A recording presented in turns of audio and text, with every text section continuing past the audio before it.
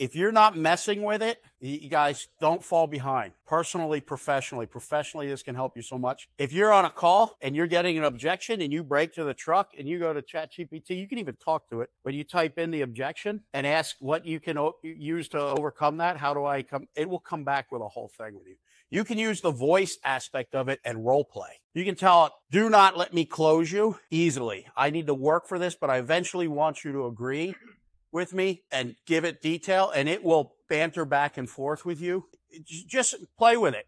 Take a picture when you're out. If you're, if you're an installer or somebody, you're riding with somebody, take a picture and just be like, is this the ugliest person I've ever seen? Right? Is there anybody uglier on earth? Something like that, right? Take a picture yourself. Can I, can I make myself look better? Right? Probably come back. Frankie does, it'll be like, no. right?